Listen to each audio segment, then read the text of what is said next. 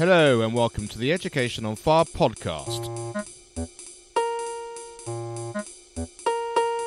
The place where we share creative and inspiring learning in our schools.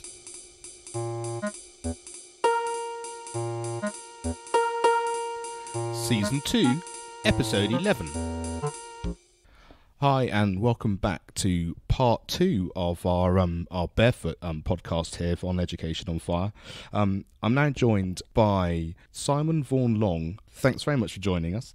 Um, and yeah, can you give us a little bit of background about um, yourself. You're, you're a volunteer who actually delivers some of the workshops for Barefoot. Um, but can you give us a bit of background about your professional side as well, and, and how, how important that is to the, the volunteer side of Barefoot, or, or, or whether it's not, and just sort of how the whole thing sort of fits together a little. No, that's, that's fine. Uh, so yeah, I, I joined BT about six years ago now, um, and uh, I'd had a uh, I'd had a history in IT development. For about 20 years before that. Um, uh, so it's a it's a bit of a passion uh, close to my heart. Um, and joining BT, there there's this um, there's a uh, program whereby they encourage you to volunteer. Uh, there's many different things you can do, from doing telethons in the BT Tower and so forth. I've done a few of those. Um, and, and, Barefoot came on board just after the curriculum changed a couple of years ago.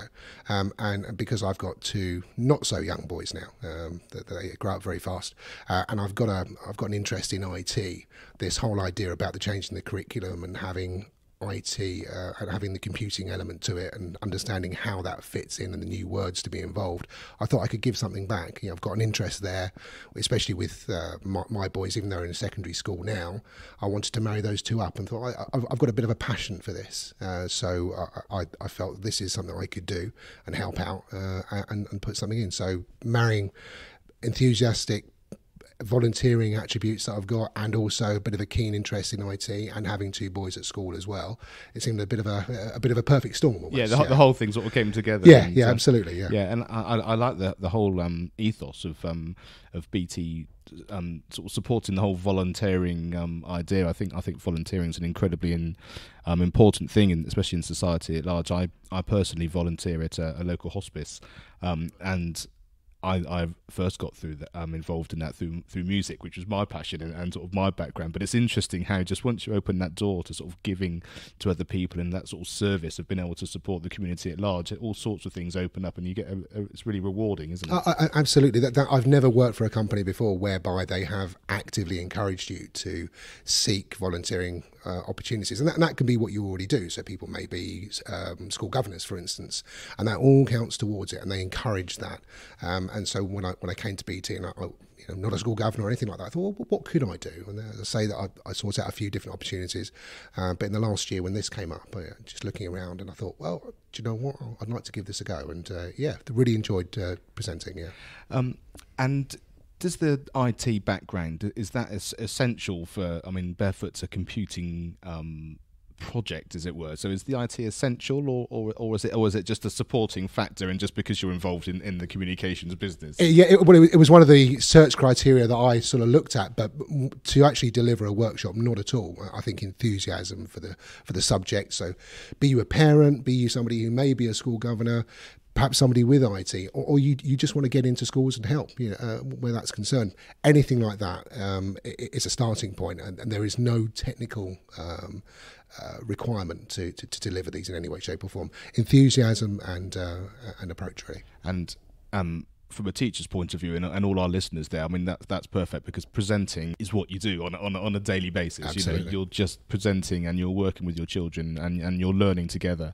Um, and so to know that you've got those skills already must take some of the fear factor out when when when you first go into a school and start um, thinking about delivering the workshop and, and actually and supporting the teachers and what it is they actually need to learn. Yeah, and, and BT encourage people to do if you if you don't want to do it as a single uh, as a, as a, a, person on your own, uh, you you can buddy up with somebody else. And again, they encourage that and they say, well, if you don't want to do it on your own or you want to do a couple with somebody else first of all, uh, we can buddy you up with somebody. So it's all part of the program. They say, what are your requirements as a presenter? So it takes your needs into account, um, and then matches you up with suitable schools, you know, in a local area. Uh, and if you need somebody as a bit of support, you want to do it as a group, then that's absolutely fine. So, so yeah. Great. So this part of the podcast, what I wanted to do is I wanted um, to basically follow the step by steps of, of, of, what's involved in the workshop. And we had a great conversation with Karen talking about um, sort of the background of barefoot and, and what it can do and, and and BT's involvement in all of that. But as as a teacher, we got as far as saying go to the barefoot website um, and email in or select a workshop that you'd like to do and that's kind of where we sort of finish that part of the journey so from there could you sort of carry us through a little bit more about uh, what would happen from that point on okay so so there, are there, there is a group uh, of people who sit in the middle of the process of the school will ask for somebody to come and deliver a workshop and finding a suitable uh, volunteer uh, because it is based locally. You're not getting people travelling up and down the country. They want to do it as local as possible. Um, so if if there is something in, in an area that I can uh, travel to, then I'll be contacted by that that central team in Barefoot, and, and they'll say we have something. Uh, are you available to do it? And you know, sometimes you, you simply can't do it, but you know it's it's good having a number of people there. You know they can spread the load uh, somewhat, uh, and I'll say yeah, absolutely. i am I'm happy to deliver it, and they'll give you perhaps one or a number of dates that the school has specified. So the school will turn around, and it, it could be as part of a um, a, a, weekly meeting the school school may have, um, and they say can we deliver it during this time when we'll have all the teachers together, and they'll specify those dates and and we'll come to a, a, a a mutually agreed date to say, "Yep, I'll come in on that particular date and time," and uh, yeah, everything will be set up. So, so once once that's agreed, so you can contact the school directly once you've got their email and just introduce yourself. Um, there will be a set of uh, documents, so, so uh, packs, learning packs that all the teachers will have at the end. So they can take all this material away and they'll be delivered directly to the school. So that when I arrive as a volunteer, I really don't bring anything apart from perhaps a memory stick with the presentation, just in case they don't have it. Um, I'll, I'll, I'll, plug that into a, a, laptop or PC, whatever it is, presenting uh, presenting what, what we need to present. But all the all the material will all be sent directly to the school, so I haven't got to carry it around and mislay anything. And if it isn't there, then obviously they can contact Barefoot themselves. Um, so so so once once that communication, once that first contact's been made, uh, and we agree a date, then everything's set up through Barefoot, and I'll turn up on the day ready ready to present to the teachers what I really like about that is the fact that the teachers and the schools have got the support in whichever way they want to do it. So, like I said, it, it, it, can be individual. It could be a whole school thing. I guess it can be a cluster thing where you get teachers from different schools and and they, and and sort of make that work as, as as best they actually can. And I think anything which just feels supportive is just a great first step, isn't it? Just sort of making everyone relax before you even start to deliver uh, yeah. what's actually involved. Yeah, yeah, it's it's it's a it's an environment that they all know. It's all done at the school, so you know, there's nothing that they're having to find their way around at the end of a busy day. We'll go in, appreciate that that, that it is at the end of perhaps what might, might have been a busy time for them, but they don't have to go anywhere. It's set up in their environment so that they can feel at ease, as you say. And it's, it's nothing else to think, oh, I've got to do this, that, and the other. It's very much sit down, and right? What can we take out of this uh, of this session? Great. So, so from there, what how, how does the workshop then develop? Is it a question of you standing up and presenting what they need to know, or is it hands on, or, or what what sort of activities? So, so there's a bit of both, really. So, so there, there is a set presentation to, to introduce the obviously the idea of barefoot. So, some of them may have turned up and they they haven't they haven't been told everything about so they say, this is what it's about, this is the reason why it's here, and saying, what are the resources that are available, and giving them um, uh, some demonstrations about the resources that are there. So it's split into two sides, uh, two parts. The first part being um, these are resources to help the teachers understand the different parts of the curriculum. So there's different terms they may not be familiar familiar with, um, and those are broken down for the teachers to gain access to, build on their understanding. They may have no understanding, they may have some, but it, supports them in their learning, in their growth towards understanding what the IT curriculum, the computing curriculum requires. And the second part is saying, so what, what do you have? What, what, what can we produce for you to take into the lessons? And there are lesson plans. There are lesson plans from the very beginning to say, what do you need to set up with? So, what are the resources you require? All the everything that needs to be downloaded can be downloaded directly, um, and having a look at how that progresses through what you need to do during the session there can be there can be extension pieces to a, to a work. So it's something that might want to do a little bit more. If they've finished the the tasks at hand there can be extension work there but there's also supplementary material for those that might need a little bit more support. Uh, so we, t- we go through all of that um, and there's parts of the presentation but what we will do is we'll open up the website. So so I have a login to the Barefoots website and, and we encourage everybody to uh, to register on that on that website either beforehand or at the end of the session, say this is what we've got. So open it up so they can see it at hand and see what they what they can interact with. And it's it's very it's very self-explanatory. There's lots of links backwards and forwards. So if you want to go in to understand what an algorithm is, you can supplement your understanding. We'll do this in the session, and then say, so what what do I need to do? What what what lesson do I want to um, do, do I want to um, give tomorrow, perhaps? And it could be the algorithm is how do you make a piece of toast, and that will link in directly into a lesson plan on how do you make a piece of toast. So everything flows through. So you start off in a certain point that maybe to supplement your understanding, and then say I want to deliver something along those lines, and you click through the links. Very very simple, like very very slick website to link all this together. Brilliant. And and so, can you just take us through that particular example? I really like that example. So the the, the piece of toast um, algorithm. So in terms of presenting that, and, and the teacher who's not quite sure how that is, how, how do you explain that, and how, how does that work? So through? so the way that's introduced, so you have these new terms that teachers may not be aware of. One of which is algorithm, debugging, decomposition, all these things. You may may be thinking to yourself, what on earth's going on here? No idea what, what, what it's to do with. And we'll say, okay, an algorithm is broken down into this. This is how you define an algorithm. That's for the teachers to get to understand the concepts behind it. And from that perspective, you then say, okay, so I've, I've now understand what I understand what an algorithm is. What can I introduce into the classroom to uh, to support that piece of work, to support that part of the curriculum that I want to get, get across, and it will and, and you'll have at the bottom say, well, what uh, what resources are available to support this part of the curriculum, and you'll have and it will, it'll be breaking down into key stage one, key stage two. You can it will link in. It has to be cross curricular as well, so it could say so. This could be something along the lines of, and I may not be using the correct term, um, a design and technology aspect. So you say, I want to do, I want to interact with a design and technology lesson with an algorithm, and it says, well, yeah this particular lesson plan will do that for you. And there'll be bits and pieces to do with sequences and so forth, which obviously is maths based.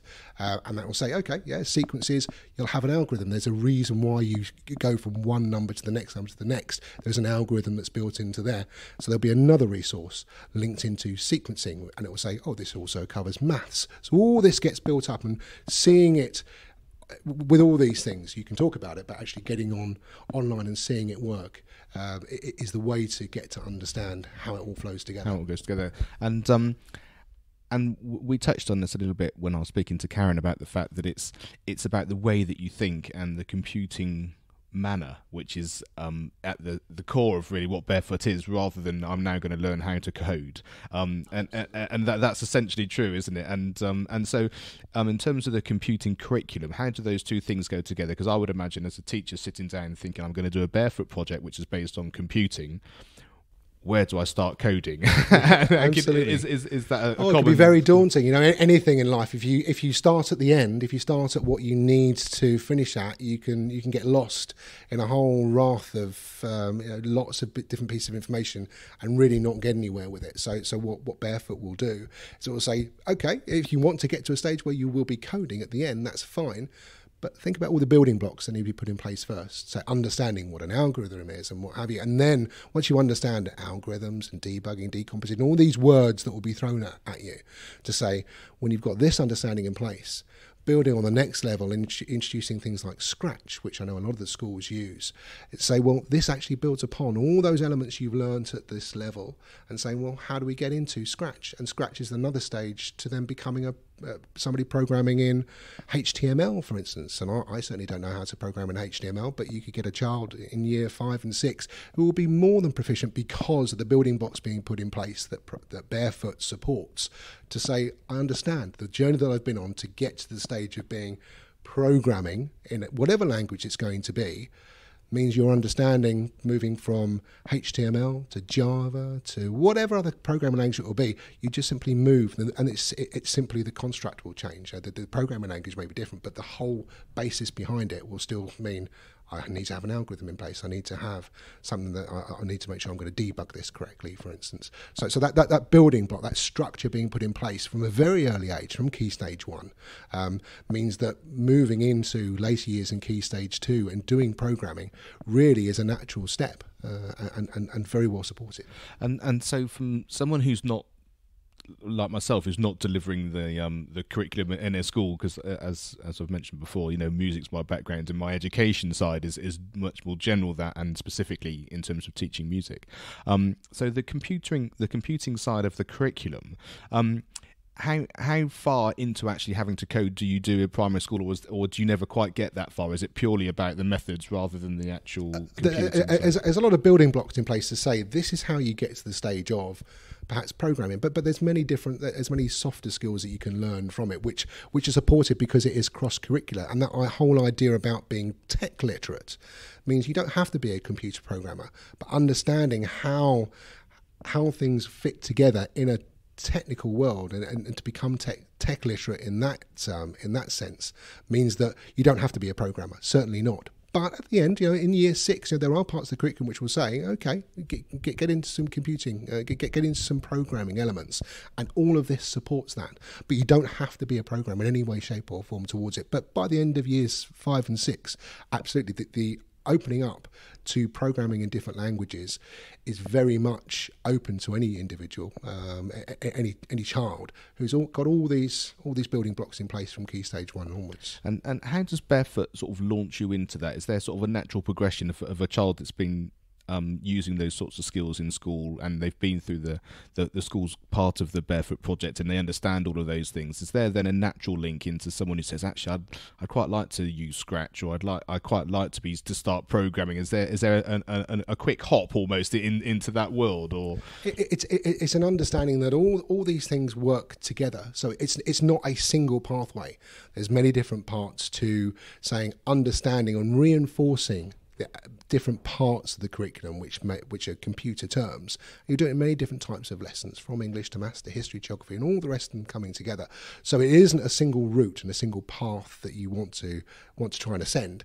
It's very much how do you, how do you put these things together? And oh, do you realise that in Scratch you could actually build a program which would animate your, your, your Viking project, for instance, and you could make it work in a way that, as a as a child, building upon what your knowledge will be, to come to an animated view of how the Vikings, perhaps, you know, would would, would, gain access across the, the oceans and all the rest of it to introduce that, it simply becomes a flow of understanding of the subject at hand, but introducing technology to that. So it's it's it's a little bit more subtle than just simply saying becoming a computer, computer programmer. It's using technology in a way to support you in your journey to to become a more tech, techni- technically literate person. Yeah. Um, what, what, one of the things I liked from our, my conversation with Karen before she was saying that they're going to increase the resources and maybe have some YouTube clips on on some of the things to support the teachers and that kind of thing. And um, and what just struck me then was what you were talking about um, some of the children then wanting to go on and do new things.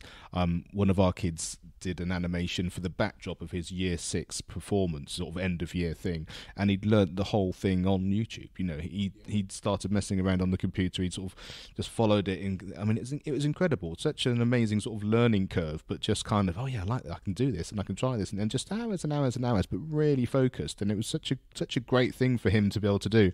And I quite like that full circle of sort of us beginning to understand that teachers are going to be getting their resources and learning from things in the same sort of way. It's not just about having a one off workshop or a succession of workshops, it's about just literally having that contact where you start something and then just knowing where to go for the resources and having the support and, and, and the community as is um, one of the one of my season one podcasts was about podcasting and online communities and, and, and all the resources that you just have and the support that you have across the world now, let alone across the country or in your neighborhood. You know, it's just a question of finding what you're passionate about or the information that you need, and you'll find it out there. Absolutely. In, yeah. in, in, in, a fairly easy manner these days. You don't need to wait for your head of department or, um, you know, what used to be a sort of an LEA person coming in and telling you how to do X, Y, and Z. You know, it's there for you to, to just to go and get, really. Yeah, absolutely. And Barefoot isn't exhaustive. You know, there are plenty of resources there and lots of lesson plans to use. But, but this is a starting point and things like YouTube and I, I use YouTube endlessly for, for the job that I'm doing. And I have areas whereby there are technical challenges and you'll just search it and YouTube is immensely immensely useful where that's concerned. So yeah going on if it, it, sparks the idea saying so where do I find out more? If I haven't quite got something I don't quite understand it you can't say well it's not on barefoot. That's it. I can't do any more. It simply says okay so I know that I'm looking at this. I know that I'm looking at a particular term. Let's go and find it. And I love going on YouTube because I'm really I'm not a great reader of technical bits. I need to, to be shown in front of me and I think that really helps. Uh, and, and, I know there are a few Vimeo things for um, for for barefoot to help you see somebody go through the process from front to end of picking up a lesson plan and saying what do I actually need to do with it? And that's a teacher going through it. So it's not somebody who's who's never done it before. It's somebody saying yeah I know what I need to do with the lesson. This is how I've approached opening up the lesson plan and how I use it to support me from front to back. So yeah it's very very important. And and I think that's it. It just takes the fear factor out, doesn't it? If you've seen someone do it and you literally do it step by step, then you think, well, I can at least copy it and see how it goes. And if it doesn't quite work, then I can find out the bit I didn't quite get, rather than just having a mirage of of data or or, or pages in front of you that you have to kind of work through to try and find the little bit that you What's need. What's the worst that can happen? Yeah, it, it, it, what appears on screen isn't what you expected it to be, and it may be a a splurge of colour. You think, oh, that really wasn't what I was after. but you may find from there, by playing around with that, you might find, oh, actually, if I try, nothing's been written down in front of me to say, turn right instead of turn left. But when I do turn right, more opportunities open up to me. And it is that it is that journey of saying, and this is what the children clearly do all the time. They will be saying, Well, that hasn't quite worked, but I like what it's done. Can I play around with this a little bit more? And it is, you know, the kids will love to play. You know, if they if they get hold of it, uh, especially something like Scratch, if they say I want to draw a square and then re- make it rotate, they're not quite drawing a square, they're doing something else. Says, but actually I could draw I could draw many other shapes. It's not just simply a square. And and that that enthusiasm to say from those areas of uncertainty and doing something which may not come out to be what you expect can actually open up other opportunities as well. And just having that exp- having that inquisitive mind and saying, okay, what else can I actually do with it? Is it, it's fantastic to see, and the kids will love to do it. So if anybody can grab hold of the program and say it isn't simply prescriptive it's supportive to say this is what you can do. These, here's some starting blocks. And actually if you try something out and you get to do something different with it that's your journey. That's that's what you can actually do. I think that's great and that's just incredibly creative. And and and what i like about it and this is sort of the the whole point of the podcast really is is, is just sort of sharing um, ideas that are just slightly out of the box of of, of um, okay I'm, I've I've got to do my lesson plan for this. And so you okay? You've got the umbrella of barefoot. You've got the um, the umbrella of, of what you're actually doing. So it's all taken care of. But within that you've got the flexibility and you've got the chance just to light that fire and, and let the kids fly with it and, and, and, and see where they go. And that's that's what really gets them going. That's why they like gaming because they can they're just trying things out. If it doesn't work as they want they change and they do different things. And so you really do have the scope to use that in many different ways. And because it's cross curricular and like you say you can use it in all different types of subjects you could really just broaden the whole thing out. And then that whole inspirational right well we don't quite know how to do this. How are we going to find it? it's a much greater starting point than actually kind of right now we're going to learn this piece of information. Okay off we go you know? And and and I, and I guess essentially from BT's point of view those are the types of children that they need in terms of going into a tech world in 10 years time or whenever it is that they're going to be sort of going into the workforce because we don't know what their need to be. There's no possible way that we're going to know what the skills are they are apart from the fact that it's the creative side it's the inquisitive side and that way of learning is the key because they'll come up with what it is that whatever it is that we need to know as a yeah. society yeah. and, and and as employers in, in that at that time. Oh, absolutely. So yeah, my, my so I've got twin boys and they they've just started their GCSE year. So uh, last year there was uh, a lot of presentations around so what should they choose and what, what what avenues can they go down and what careers they want to do and just like any other 14 year old knowing the career that you're going to do at that stage clearly isn't going to be on the horizon but that that that part of saying, so what is out there? And uh, the presentation turns around, and I think that I think the uh, the numbers are along the lines of of all the jobs they can do during their lifetime, 90% haven't even been invented yet. Clearly, we're in that age, you know, and I know, you know, so I'm just a little bit older than that, and but I can see the jobs changing immensely, and it, even in the last five years, it's exploded. And that whole idea about digital creativity, for instance, so I, I don't what I don't see this as is that there is this whole idea about getting a child to be to understand how to program, for instance, and being technically technically literate there. But if you produce an individual who has all the building blocks and understanding to say, okay, in a technical world, how do we need to think? How do we need to approach things? Then actually, somebody who's nowhere close to being a computer programmer still has that that level of conversation that they can work with for, with a technical person as well. So it actually helps everybody down the line, five years down the line, after they leave education, if they've got the same grounding, actually developing and collaborating means they are speaking the same language indirectly. They won't be sitting there saying, "My algorithm says this" and something, you know, my, I'm debugging this. But the conversation piece is based upon the same structure means that anybody from any walk of life within an organization, if we are pushing the boundaries of, uh, of technical ability, means that we're talking the same sort of language anyway. Uh, and, and, that really helps because you're not shoving a, a, a, technical guy away in a corner and giving him something and thinking, is he going to do what I wanted to do? The conversations actually start at the same level up front. So we really do push the boundaries and we're a lot clearer early on with what, what's required and how that we're going to get there in a technical world. But also, you can start to push the boundaries a lot quicker because you, you're thinking further ahead rather than just simply saying, I've got a technical piece of work that needs to be done here and now. You know, it's very much expanding and collaborating and, uh, and, and seeing people thrive and thinking about new things. And, and I, can only see that as a good thing, you know. And and, and it's it sounds like um, I can almost imagine these people working in that kind of modern way. You know that you sort of see the the Facebooks of um, of of this world with sort of big open plan offices. It's all about collaboration. It's all about ideas. It's all about coming together. As you say, it's not about sending one person into one room and another person into another room. And so, to even within the curriculum, to have now we're doing geography, or now we're doing this, or now we're doing that, and sort of um, compartmentalizing everything is is just not the way that the world is is is is in reality, and it's also not the way that it's certainly going and how it's going to develop. I don't think so. I think having all of those skills on board is just it, it's certainly what I've heard when I went to the BT Towers. part of the tech literacy thing was what we were hearing from businesses. You know, we we want people that are creative, thinking together, working together, sparking ideas off, and actually having a the, the, the skill set to be able to move forward into this unknown world. It's not about I've got a master's degree in debugging or whatever whatever it would be. You know, it, that that isn't the skill set they're looking for because they don't know what the skill set is yet. It's the fundamentals of what you need, and it sounds like Barefoot is absolutely an absolute building block of that and exactly what, how it's actually designed to work. Yeah, and, and that's and that's actually another good element of Barefoot. So they will have the words, the computing terms you need to cover, but all these things to do with collaboration and how how people will work together are highlighted in every every lesson plan that's there. It says, oh, you do realise this covers.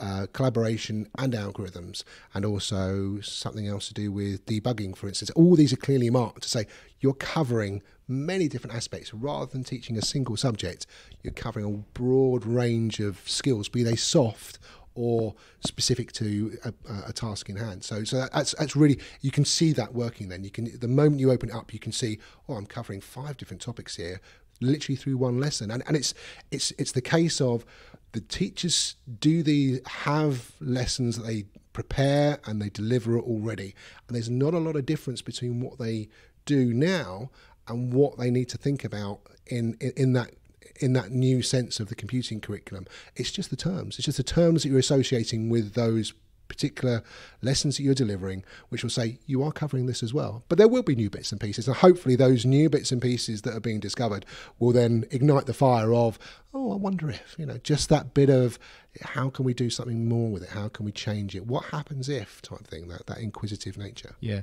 Well, I'm quite excited about coming to a workshop, and, I, am not a teacher that needs to deliver it, but um, just just through chatting and just sort of really getting an understanding of how it works and, and how it comes together.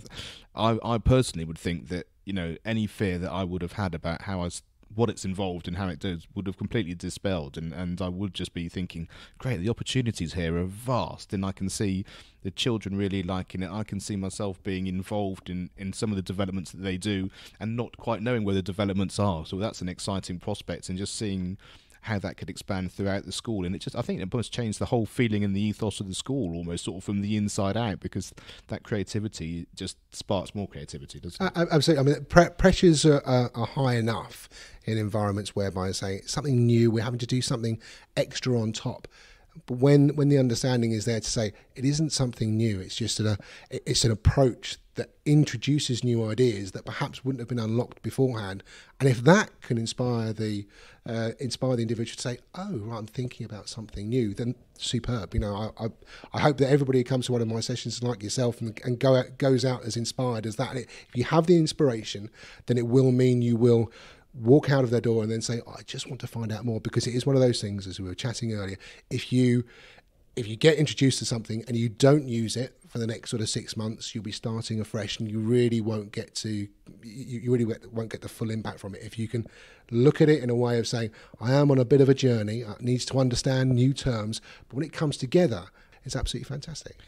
So if you're a if you're a training um, teacher and um, you might have had the chance of a, a, barefoot workshop going on within university, I believe that um, Karen was saying that there's lots of that going on now, being involved in the universities and actually sort of at that sort of beginning stage, mm-hmm. just getting bare, barefoot part of, of, of that training, which I think is brilliant. And or if you're uh, a teacher within a school um, that's going to have these workshops, the first point of call is literally if you go to barefootcas.org.uk then you can get in contact um, and, and, get the ball rolling. You can download some things and, and just get a real feel for what it's all about. And from there on, it just sounds like you take it in hand. Then the the the, the way the workshops um, come about sounds very straightforward and, and, and very easy to organise.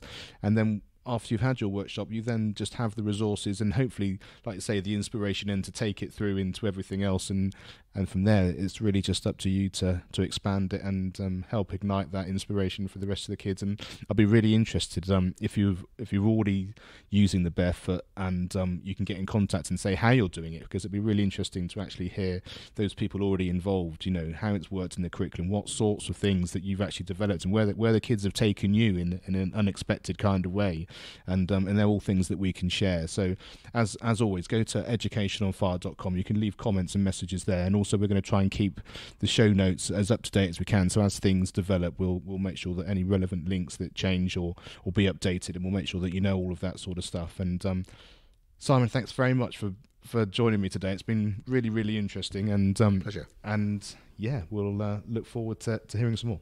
Yeah, fantastic. Thank you. Thank you for listening to the Education on Fire podcast. For more information, please go to educationonfire.com.